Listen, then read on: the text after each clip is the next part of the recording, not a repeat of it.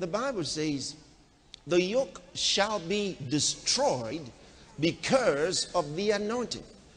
That's where the old saints, many Christians years ago and up till now, that's where they actually got the term, the anointing breaks the yoke. That's where they got it from. Incidentally, that rendering is a little misleading. It says, the yoke shall be destroyed because of the anointing. That's what it says. He didn't say the anointing will break the yoke. Of course, it will break the yoke. The lesser is included in the greater. Yeah, sure. But it, it does say the yoke shall be destroyed because of the anointing. That means you cannot put a yoke on one that is anointed. It means that when you put the yoke on him, it will break. He says, The yoke shall be destroyed because of the anointing. You cannot be yoked. When the yoke is put on you, they tried again.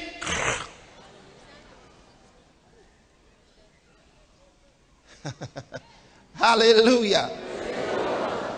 No, you can't put a yoke on me. You can't. See that? If many Christians understood that, they would just walk out of the problems. They just walk out. Just walk out. They wouldn't need to queue up for deliverance. It's almost insulting, you know. We can do that for babes, but please don't let it go on in your life. Year one, year two, year three, you're still going for deliverance. Because somebody said you drank in your dream. Therefore, you need to have a devil cast out of you. I told, I told some people the other time, uh, was it earlier in the year? Yeah. I said, if you find food in your dream, eat it.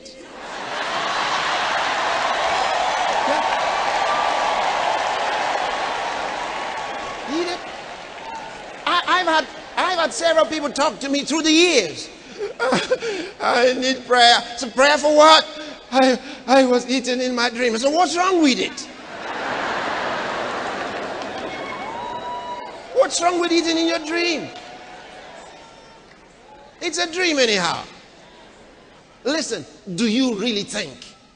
Do you do you really think Satan is so good he'll give you food in your dream?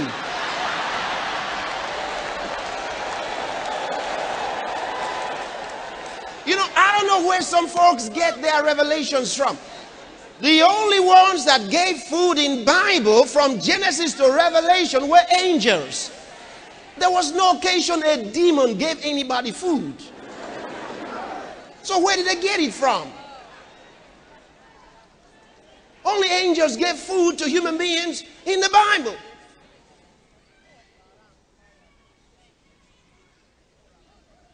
A table has been laid before you. Woo! In your dream. And you took only a bite and woke up with a bad conscience. How could you? You should have gone back to that sleep. Hallelujah. Glory to God.